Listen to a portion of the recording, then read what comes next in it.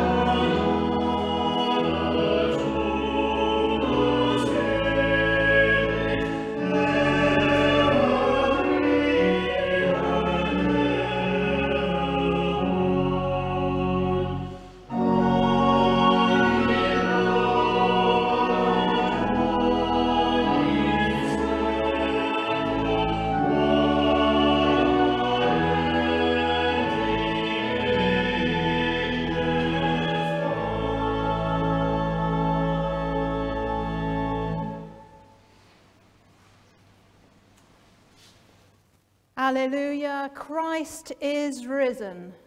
He is risen indeed. Alleluia. The Lord be with you and also with you. And as is our wont here, let us take a moment of quiet reflection before we start our worship together.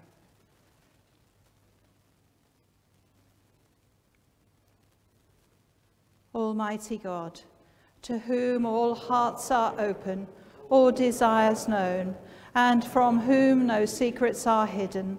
Cleanse the thoughts of our hearts by the inspiration of your Holy Spirit, that we may perfectly love you and worthily magnify your holy name, through Christ our Lord. Amen. Christ, our Passover lamb, has been sacrificed for us. Let us therefore rejoice by putting away all malice and evil, and confessing our sins with a sincere and true heart. Almighty God, our Heavenly Father, we have sinned against you through our own fault in thought, word and deed, and in what we have left undone. We are heartily sorry and repent of all our sins. For your Son, our Lord Jesus Christ's sake, forgive us all that is past, and grant that we may serve you in newness of life, to the glory of your name. Amen. Hear now the words of grace. Your sins are forgiven in the name of the Father, the Son, and the Holy Spirit. Amen. Glory to God in the highest, peace to his people on earth. Lord God, heavenly King, Almighty God and Father, we worship you, we give you thanks, we praise you for your glory. Lord Jesus Christ, only Son of the Father, Lord God, Lamb of God, you take away the sin of the world. Have mercy on us. You are seated at the right hand of the Father. Receive our prayer. For you alone are the Holy One. You alone are the Lord. You alone are the Most High, Jesus Christ, with the Holy Spirit, in the glory of God the Father. Amen the collect and readings appointed for this fourth Sunday of Easter. Risen Christ, faithful shepherd of your Father's sheep, teach us to hear your voice and to follow your command, that all your people may be gathered into one flock to the glory of God the Father. Amen. Please be seated for our reading.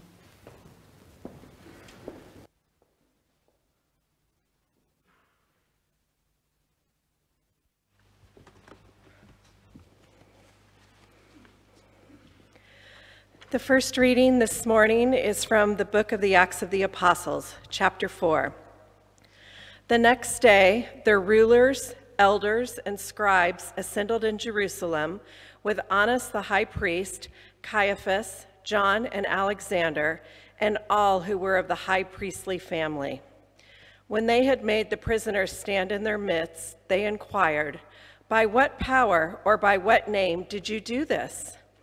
Then Peter, filled with the Holy Spirit, said to them, Rulers of the people and the elders, if we are questioned today because of a good deed done to someone who was sick and are asked how this man has been healed, let it be known to all of you and to all of the people of Israel that this man is standing before you in good health by the name of Jesus Christ of Nazareth, whom you crucified, whom God raised from the dead. This Jesus is the stone that was rejected by you, the builders. It has become the cornerstone. There is salvation in no one else, for there is no other name under heaven given among mortals by which we must be saved. This is the word of the Lord.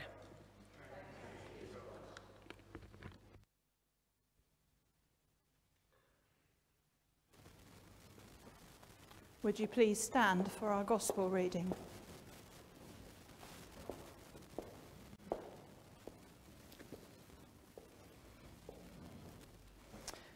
Hear now the holy gospel of our Lord and Saviour Jesus Christ according to John.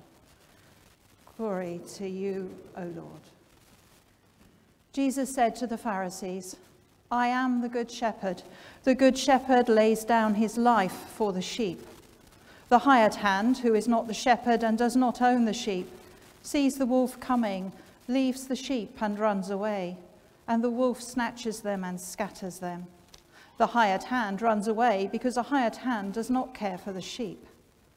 I am the good shepherd. I know my own, and my own know me. Just as the Father knows me, and I know the Father, and I lay down my life for the sheep. I have other sheep that do not belong to this fold. I must bring them also, and they will listen to my voice. So there will be one flock, one shepherd. For this reason the Father loves me, because I lay down my life in order to take it up again. No one takes it from me, but I lay it down of my own accord. I have power to lay it down, and I have power to take it up again.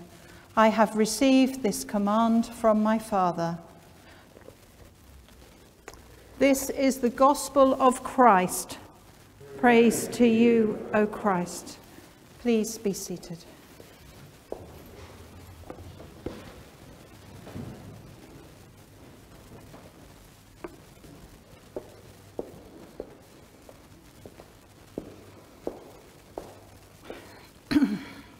Today is the fourth Sunday of Easter, as I said, and traditionally it's known as Good Shepherd Sunday because of that reading. But it's also Vocation Sunday. More about that later. Today marks a turning point in our journey through Eastertide. After three weeks of looking back at historical accounts of the resurrection, we now turn back to the person of Jesus, to his word and teachings, to try and understand the man and the example of his life. Now, illustrations of shepherds and sheep abound in the gospel. And I did wonder if they abounded in this church in the windows, but they don't particularly. But we need to take care that we understand the meaning of shepherds and sheep. They were common then in first century. But tell me, when did you last see a shepherd or any sheep in the middle of Weybridge? Not for a good long time. And if we do talk about sheep, we might think more about the cuddly, sanitized, fluffy things we might see on TV, particularly pertaining to children, rather than the more smelly reality of a living, breathing animal. So, shepherds in the first century. There's a small account. We have flocks of sheep roaming the hills. Well, and we shepherds, we live with them the whole time. We go wherever they go. We protect them from predators. We keep them together. Being a shepherd means days and days outside in the middle of nowhere, and it's mucky and it's dirty, and we smell. Not much money in it either, really. And everyone turns up their noses at us when we get back home. No one perhaps wants to be a shepherd, but you need us. You need wool, you need meat. And I guess we wouldn't have a job otherwise. We're the lowest of the low as other people see us. But we know our own sheep. I can describe all my sheep. I know what they look like and what they sound like. And they follow me on these hills. They know my voice as much as I know their individual bear. Sometimes we find sheep that are lost and alone, but we take them in, we add them to our flock, they get to learn me, and I learn them. I will look after them. It's not an easy job, this looking after sheep, you know. There are all sorts of things that can go wrong. There are lots of people and animals who want to do harm to my sheep and even to me. It means this job is a bit iffy sometimes, and I just don't want to think about what that can mean. Okay, that was a bit of fun. But Jesus is talking about his relationship with God and ours with him as being between a shepherd and his sheep. And you can see that that would have been quite shocking and a very odd thing for people to hear. God, Jesus, and shepherds are very different. And it would take a great deal of thought to get their heads around the shock of that comparison but it does make sense. There are three things I think that mean it makes sense. Firstly, a shepherd would know his sheep individually, intimately, and they can recognize each other. And Jesus says that, I know my own, and my own know me. And secondly, he's talking about other sheep to be found and added to the flock, becoming known one to another and following the same shepherd. Jesus says, I must bring them also. He's talking about bringing other people to join us with our faith. And thirdly, a shepherd would willingly give his life to ensure the safety of his sheep. Jesus' death was laying down his own life for us and for the love of us. Now, secular thought could say that Jesus' life and mission was a bit of a failure. He died on that cross, his friends crying, and even Jesus' last words of, It is finished, might underline that.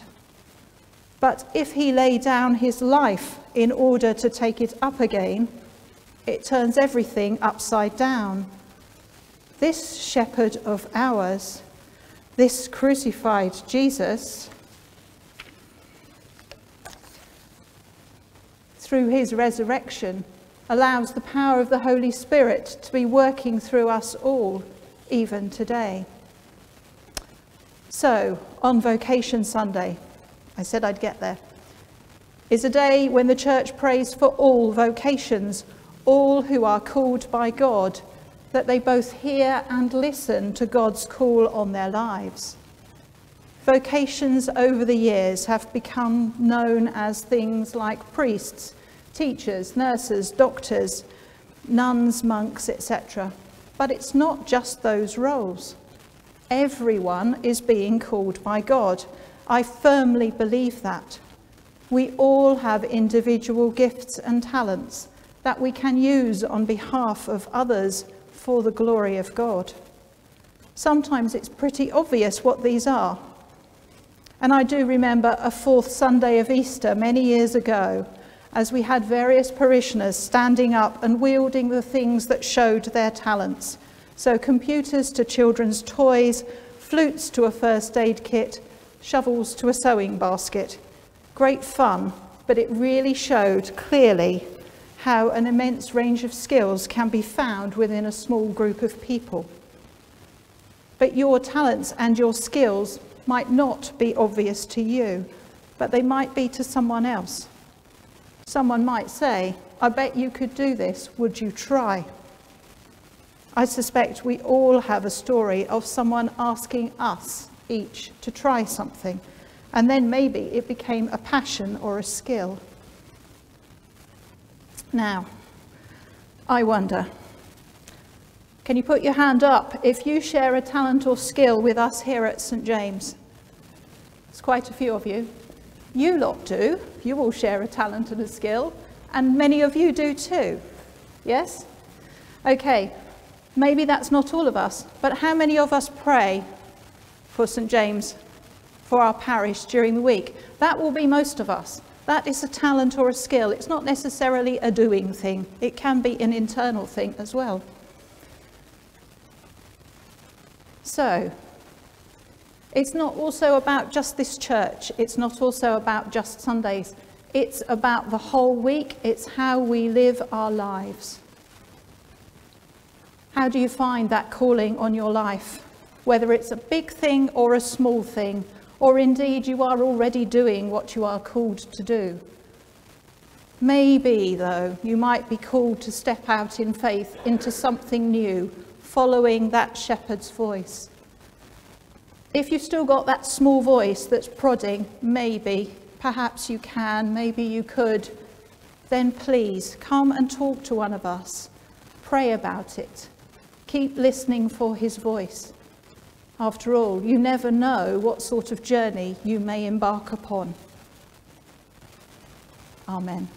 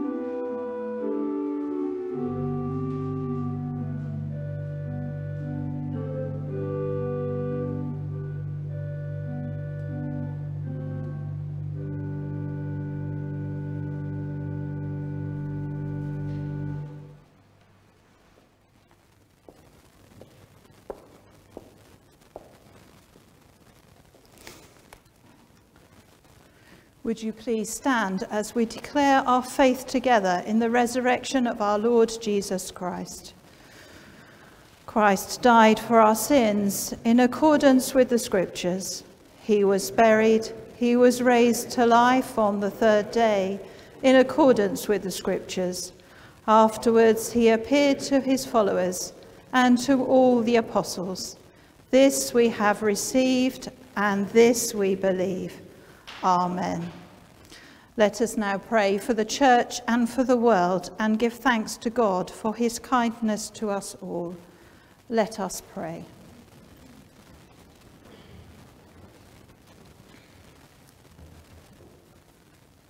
We bid a blessing on our Archbishop Justin and our bishops Andrew and Joe in this diocese of Guildford.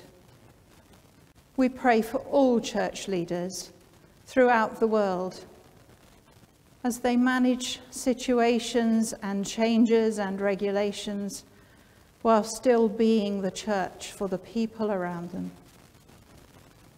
Lord, in your mercy, hear our prayer. We pray for our world, where conflict and strife seems ever more around.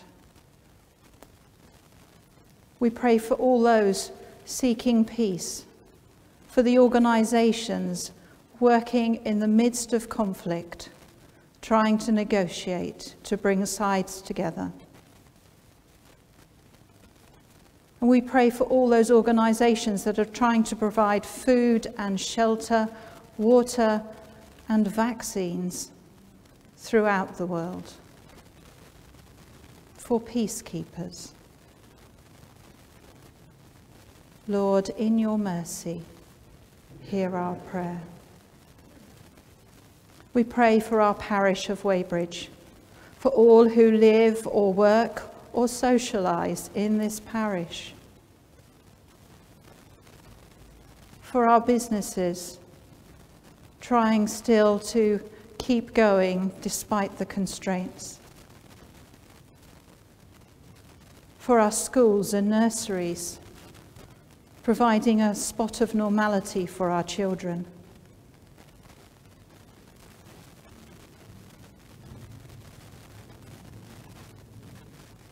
for all the places in which we find ourselves in this town, where perhaps we might be able to share our faith with others. Lord, in your mercy, hear our prayer. We pray for ourselves. We pray that we can hear your voice as our shepherd and that we can discern what you wish us to do with our lives. And we pray that you will help us to help others to also find the direction for their lives.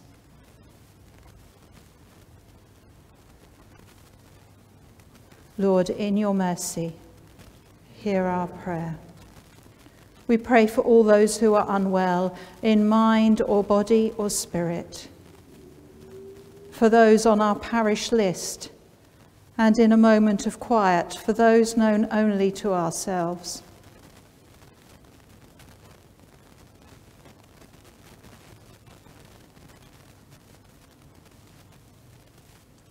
We pray that they may find comfort in your presence. We pray for their families and friends, for those who care for them, for wise decisions and for endurance through sometimes long journeys. Lord, in your mercy, hear our prayer. And we pray for those who have died, among whom Richard Chown, priest, and in the year's mind, Fred Parsons and George Button. Rest eternal grant to them, Lord and let light perpetual shine upon them. We pray for all those who mourn. May, their, may your peace be part of their experience, Lord. Merciful Father, accept these prayers for the sake of your Son, our Saviour, Jesus Christ. Amen.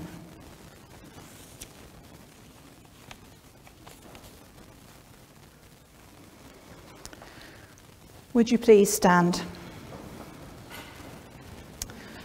The risen Christ came and stood among his disciples and said, Peace be with you.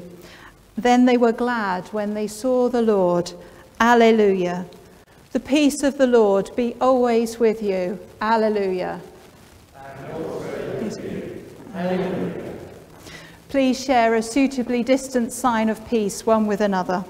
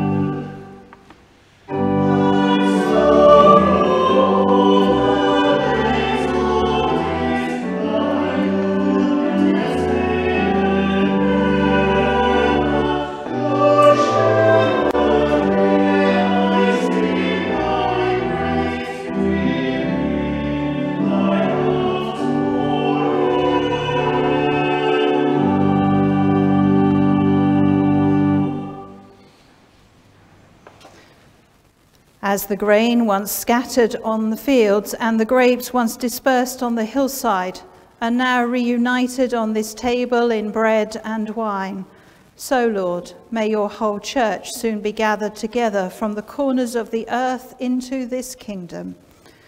With this bread that we bring, we shall remember Jesus. With this wine that we bring, we shall remember Jesus. Bread for his body, wine for his blood. Gifts from God to his table we bring. We shall remember Jesus. The Lord is here. His Spirit is with us. Lift up your hearts. We lift them to the Lord. Let us give thanks to the Lord our God. It is right to give thanks and praise. It is indeed right. It is our duty and our joy at all times and in all places to give you thanks and praise. Holy Father, Heavenly King, Almighty and eternal God, through Jesus Christ our Lord. But chiefly we are bound to praise you because you raised him gloriously from the dead. For he is the true paschal lamb who was offered for us and has taken away the sin of the world. By his death he has destroyed death, and by rising to life again he has restored to us everlasting life.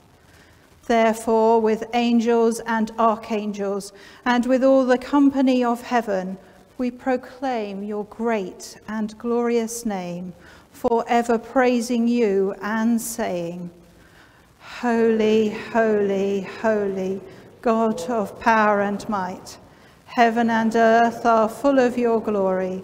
Hosanna in the highest. Blessed is he who comes in the name of the Lord. Hosanna in the highest. All glory be to you, our Heavenly Father, who in your tender mercy gave your only Son, our Saviour, Jesus Christ, to suffer death upon the cross for our redemption, who made there, by his one oblation of himself once offered, a full, perfect, and sufficient sacrifice, oblation, and satisfaction for the sins of the whole world. He instituted and in his holy gospel commanded us to continue a perpetual memory of his precious death until he comes again. Hear us, merciful Father, we humbly pray, and grant that by the power of your Holy Spirit, we, receiving these gifts of your creation, this bread and wine, according to your Son, our Saviour, Jesus Christ's holy institution, in remembrance of his death and passion, may be partakers of his most blessed body and blood, who in the same night that he was betrayed, took bread and gave you thanks. He gave it to them he broke it and gave it to his disciples, saying, Take, eat. This is my body, which is given for you. Do this in remembrance of me.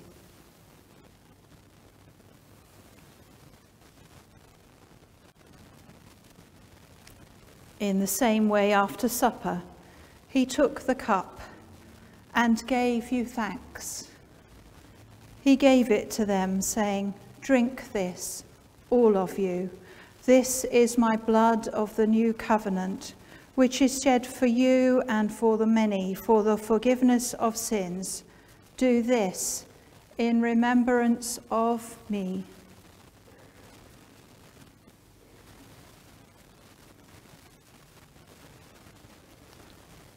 Praise to you, Lord Jesus. Dying, you destroyed our death. Rising, you restored our life. Lord Jesus, come in glory. Therefore, Lord and Heavenly Father, in remembrance of the precious death and passion, the almighty resurrection, and the glorious ascension of your dear Son, Jesus Christ, we offer you through him this our sacrifice of praise and thanksgiving grant that by his merits and death, and through faith in his blood, we and all your church may receive forgiveness of our sins and all other benefits of his passion. Although we are unworthy through our manifold sins to offer you any sacrifice, yet we pray that you will accept this, the duty and service that we owe. Do not weigh our merits, but pardon our offences and fill us all who share in this holy communion with your grace and heavenly blessing. Through Jesus Christ our Lord, by whom and with whom and in whom, in the unity of the Holy Spirit, all honour and glory be yours, Almighty Father, for ever and ever. Amen.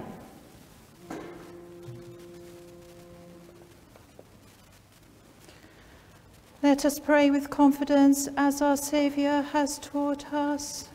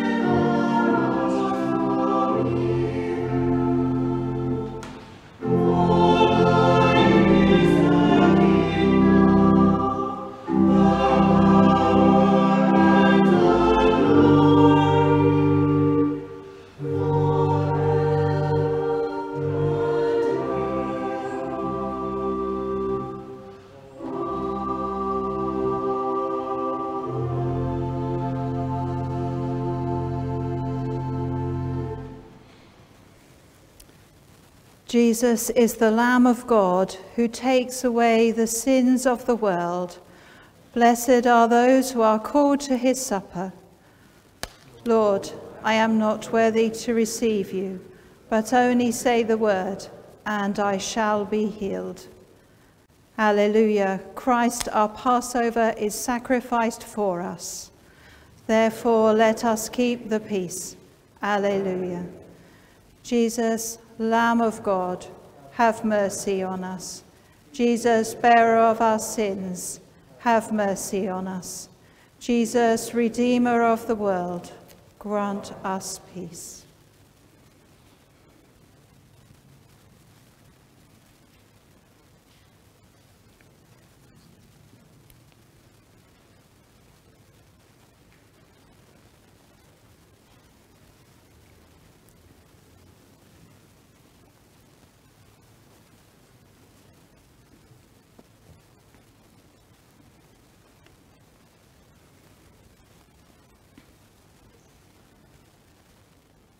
Draw near with faith. Receive the body of our Lord Jesus Christ, which he gave for you, and his blood, which he shed for you.